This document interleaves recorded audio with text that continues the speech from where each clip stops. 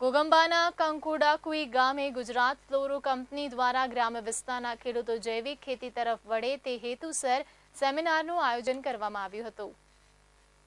ગુજરાતના તાલુકા મથકે કૃષિ મહોત્સવનું આયોજન થઈ રહ્યું છે ત્યારે ગોગંબામાં આવેલ Gujarat fluoro chemical limited company તરફથી કંકોડાકુઈ મુકામે ખેડૂતોમાં જૈવિક ખેતી માટે જાગૃતિ આવે તેના માટે કાર્યક્રમ રાખવામાં આવ્યો હતો, જેમાં જૈવિક ખેતી અંતર્ગત જમીન સુધારણા, વાવેતર પદ્ધતિ, પાક સંરક્ષણની બાબતો, જૈવિક જંતુનાશક દ્રવ્ય બનાવવા, નિરીત અને તેના ઉપયોગ વિશે સમજ આપવામાં આવી હતી.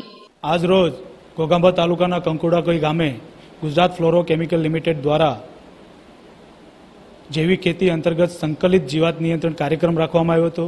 આ કાર્યક્રમની અંદર ખેડૂતોને પાકોની અંદર રહેલા વિવિધ પ્રકારના રોગો તથા જંતુ પર નિયંત્રિત કેવી રીતે લાવવું અને એ પણ વગર રાસાયણિક દવાઓ તથા ખાતરોનો ઉપયોગ કર્યા વગર અને એ પણ સજીવ ખેતી તરફ જઈને વિવિધ પ્રકારના જે ગૌમૂત્ર છે અથવા ઔષધિઓનો ઉપયોગના માધ્યમથી દ્રવ્ય બનાવી અને જંતુ ઉપર છંટકાવ કરી, પાક ઉપર છંટકાવ કરીને જંતુ ઉપર નિયંત્રણ લાવવું, એના ઉપર વાત કરવામાં આવી.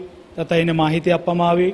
એવમ, પાકના વાવેતર માટે એ દરમિયાન પહેલાં જમીનની તૈયારી કરવી, બિયારણની પસંદગી અને બે વાવેતર દરમિયાન ઉપયોગમાં લેવાતી વિવિધ બાબતોને ધ્યાનમાં રાખી અને વિવિધ પ્રકારની જૈવિક દવાઓ, જૈવિક દ્રવ્યો એનો છંટકાવ કેવી રીતે કરવો અને એને બનાવવાની રીત વગેરે બાબત આજના કાર્યક્રમની અંદર સમજાવવામાં આવી.